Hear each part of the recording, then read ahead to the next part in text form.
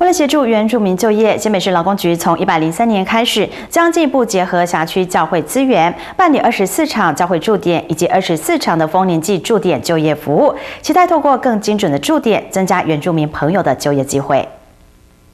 新北市原住民的失业率为百分之四点六一，比同期国民平均失业率百分之四点二四来得高。为了帮助原住民就业，新北市政府日前召开了原住民就业教会爬爬购记者会，宣布一百零三年就服行动车将办理二十四场教会驻点及二十四场丰年祭驻点服务。最主要，他们是想利用教会的资源以及丰年祭的活动，让我们救服中心。有一个叫做救福行动车，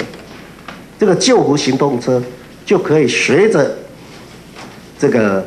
所有的教会的活动跟红人祭的活动去啪啪走。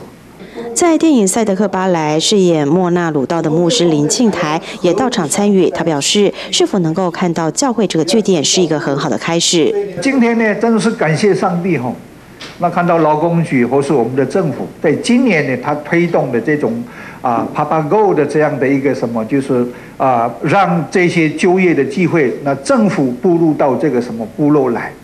今年度的原住民就业 Papa Go 将从三月十二号在新北市辖内各教会与丰年祭地点办理，期待透过了公部门与教会携手，帮助原住民朋友提高就业技能与顺利就业。记者陈平、张文琪新北市采访报道。